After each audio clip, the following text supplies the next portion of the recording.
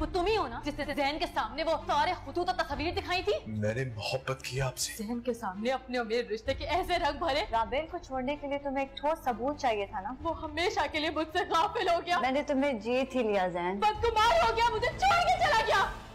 वो सारी तस्वीरें मैंने नहीं निशाल ने जैन को दिखाई थी। मुबारक हो तुम बाप बन अगर राबेल को बेटा हो गया वक्ती तौर पर ही सही लेकिन जैन उसके करीब हो जाएगा। तुमने मुझसे वादा किया था कि तुम राबिल को छोड़ दोगे।